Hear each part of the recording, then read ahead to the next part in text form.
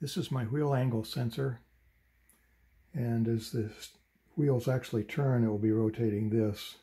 So I'm going to show you how this is connected to the screen over here.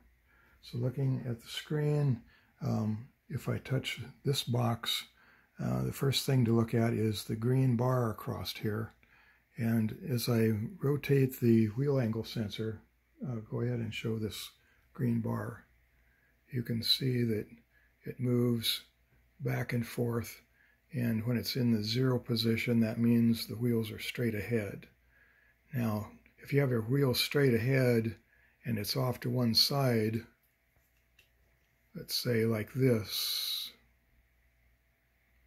if you touch the uh, zero button here,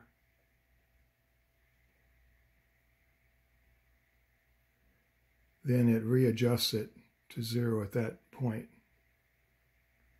Now, if you down here at the bottom, if you touch the bottom of the screen, it brings up some more information. And down here is the angle your wheels are pointing. So you can turn your steering wheel and um, left or right, positive or negative, and look at the angle down here. And it's if it's too far off, that means that the counts per degree are off, and you can use the slider here to readjust that.